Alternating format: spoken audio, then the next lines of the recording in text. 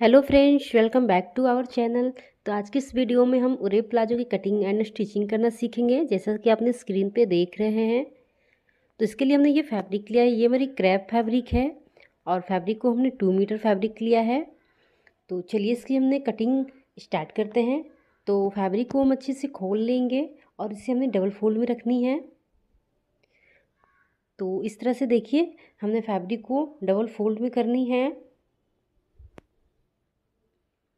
तो हमने फैब्रिक को डबल फोल्ड में रखा है। और अब हम इसे एक कोने से उठाकर इसे ट्रायंगल शेप में रखेंगे। तो देखिए फैब्रिक को हमने इस तरह से ट्रायंगल शेप में रखनी है।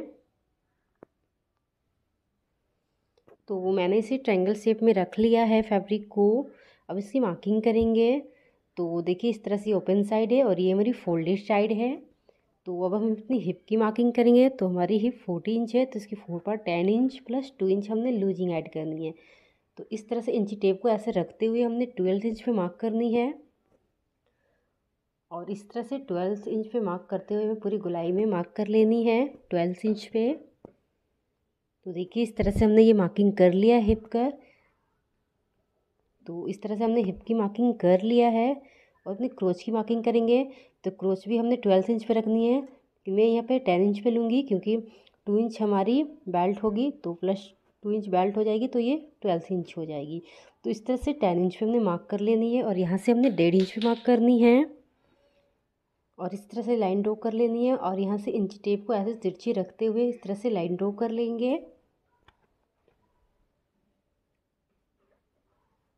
और इस तरह से हमने क्रोच में सेप दे देनी है। तो देखिए, इस तरह से हमने क्रोच में सेप दे दिया हम इसकी लेंथ लेंगे। तो टोटल रेडी लेंथ हमने थर्टी एट इंच पे रेडी करनी है।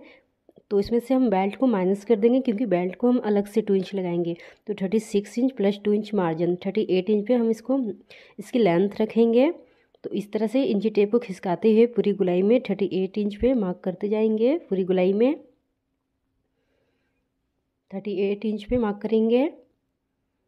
और यहाँ से देखिए, ये हमारी कपड़े की अर्ज़ ज़्यादा नहीं थी, कम थी, इसलिए हमारी यहाँ पे जॉइंट आएगी। तो इस तरह से हमें पूरे ऐसे मार्क कर लेनी है। तो इस तरह से हमने इसकी मार्किंग कर लिया है। इसे हमने डार्क कर लेनी है। तो इसकी अब हम कटिंग कर लेंगे। तो इस तरह से हमने मार्किंग पे इसकी कटिंग करनी है। अब यहाँ पे देखिए, इस तरह इसकी गुलाई में भी कटिंग कर देंगे।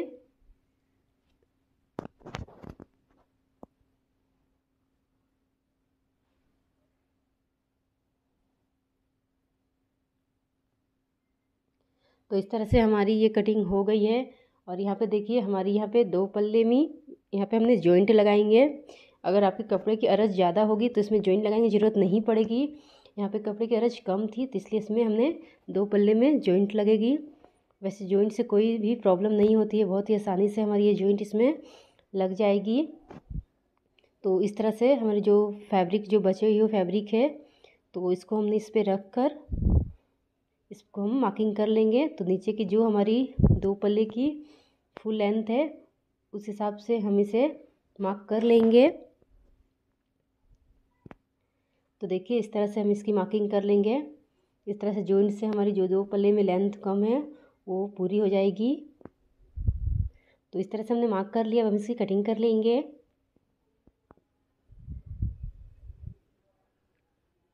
तो देखिए, इस तरह से हमने इसकी कटिंग कर लिया है। तो इस तरह से हमने इससे अपनी रेप प्लाजो की कटिंग कर लिया है और ये हमारी जॉइंट की भी कटिंग हो गई है। तो इस तरह से देखिए अब हम इसे, इसमें इसको स्टिच करेंगे। तो यहाँ से देखिए हम इसे पहले इसे खोल लेंगे।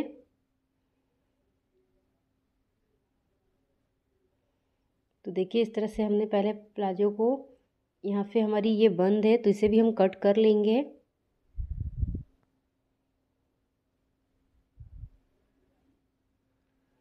तो इस तरह से हम इसे खोल लेते हैं। और अब हम इसकी जॉइंट लगाएँगे, जो दो पल्ले में हमारी जॉइंट लगेगी। तो इस तरह से देखिए, इस तरह से पहले हम इसे ओपन करके रखेंगे और यहाँ से हमने अपनी जॉइंट लगानी है। तो इस तरह से जो हमने फैब्रिक को जॉइंट के लिए कट किया है तो पहले हमने इस प्लाजो को पहले इसे हमने रोंग साइड में रखा है। और इस तरह से जॉइंट को लेंगे।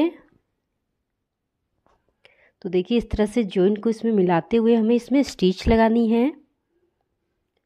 तो इस तरह से हमने प्लाजो को रोंग साइड में रखा है और जो हमारी जॉइंट वाली फैब्रिक उसे भी हमने रोंग साइड में रख के इसमें स्टिच लगा लेनी है। तो इस तरह से हमने, देखिए, इस तरह से हमने स्टिच लगा लिया है दोनों ही पार्ट में और इसको हमने अच्छे से इसमें प्रेस लगा देनी है।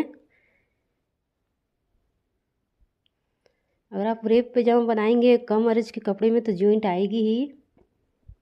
अब हम इसकी आसन में स्टिच लगाएँगे। तो इस तरह से दोनों ही आसन में हमने इसको स्टिच लगा लेंगे। इस तरह से इसमें हमें सिलाई लगानी है। तो देखिए, इस तरह से हमने इसकी आसन में सिलाई लगा लिया है। दोनों ही साइड में।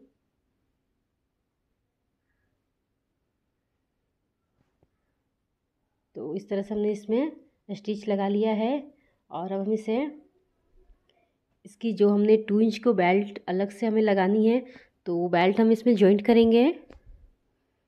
यहाँ से हमने बेल्ट को जॉइंट कर लेनी है तो हमने इस तरह से फैब्रिक कट किया है, जिसकी विर्थ चार इंच है। देखिए, इसकी विर्थ हमने चार इंच पे कट किया है, टू इंच की हमारी बेल्ट होगी, डबल फोल्ड होने के बाद, और इसकी लेंथ हमारी प्लाजो की बराबर है। पूरी गोलाई में। तो देखिए, इस तरह से हमने इसके किनारी पे स्टिच लगा लेंगे। और इस तरह से इसमें हमने अपने प्लाजो को इसमें जॉइंट कर लेनी है बेल्ट को। तो देखिए, इस तरह से हम अच्छे से खोल कर इसे सेट कर लेंगे। अपने बेल्ट वाले फैब्रिक को अपने प्लाजो के साथ में इसे सेट कर लेंगे गुलाई में।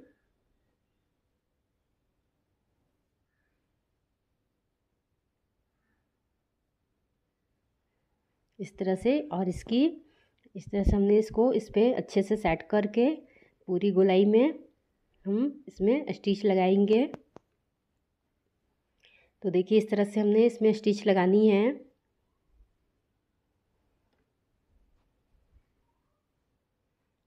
तो यहाँ से हम किनारी पर स्टिच लगा लेंगे पूरी गोलाई में।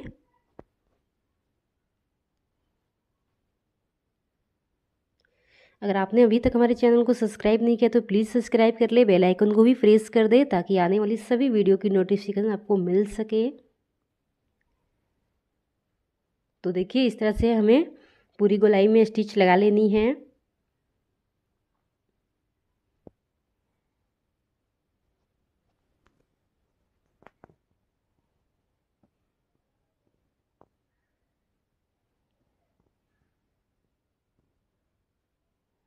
इस तरह से हमने बेल्ट को इसमें स्टिच कर लिया। अब हम इसे फोल्ड करेंगे किनारी पे और यहाँ से हमने इस पर स्टिच लगानी है। देखिए, इस तरह से अब हमें बेल्ट को फोल्ड करके इसकी पूरी गुलाई में स्टिच लगानी है। तो चलिए, इसमें भी हमने स्टिच लगा लेते हैं। इलास्टिक के लिए जिसमें हमने इसको इसमें इलास्टिक डालेंगे। तो बेल्ट में भी हमने पूरी गुलाई में स्टिच लगा लेनी है।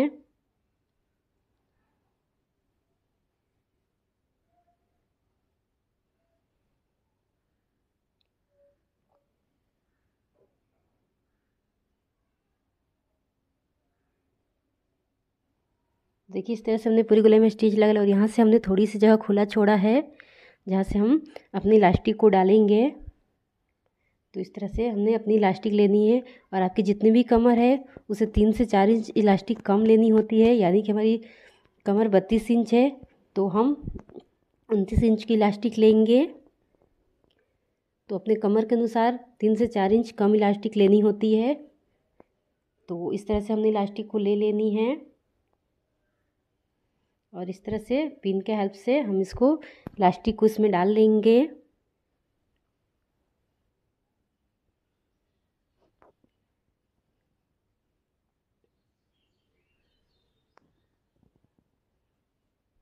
इस तरह से हमारी इलास्टिक बहुत ही आसानी से इसमें डल जाएगी। आप चाहें तो स्टिचिंग के साथ भी इलास्टिक को इसमें इंसर्ट कर सकते हैं। मैं स्टिच स्टिचिंग के बाद इसमें इलास्टिक को डाल रही हूँ, पिन के हेल्प से। तो देखिए, इस तरह से हमने इलास्टिक को इसमें डाल लिया है। इस तरह से खींचते हुए इलास्टिक को अच्छे से हम सेट कर लेंगे। और यहाँ हमने इलास्टिक को ओवरलेप करके इसमें चार से पाँच स्टिच लगा लेंगे। तो इस तरह से हमने इसमें स्टिच लगा लेनी है इलास्टिक में।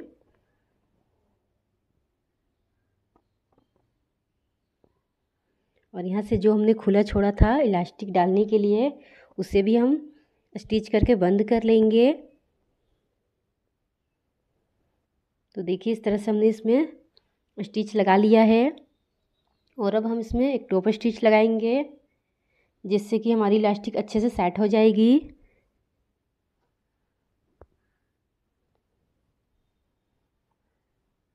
तो इस तरह से हमने इलास्टिक को ऐसे खींचते हुए इसमें स्टिच लगानी है। तो स्टिच लगाने टाइम हम इलास्टिक को ऐसे खींचेंगे और फिर इसमें स्टिच लगाएँगे। तो इस तरह से हमने पूरी गुलाई में स्टिच लगा लेनी है टॉप स्टिच। तो देखिए इस तरह से हमारे इलास्टिक में स्टिच लगा लिया है हमने और ये बहुत अच्छे से सेट हो गई है। तो देखिए इस तरह से हमारी इलास्टिक इसमें लग गई है। अब हम इसे रोंग साइड में रखेंगे।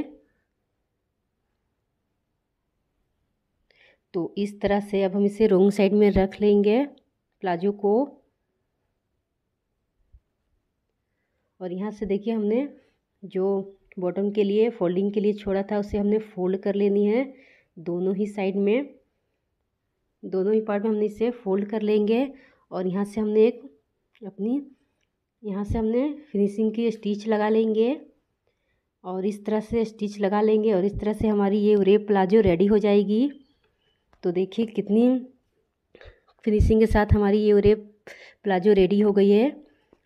जिसे हम अम्ब्रेला प्लाजो भी कह सकते हैं। अगर आपको ये वीडियो पसंद है तो लाइक करना। Thank you.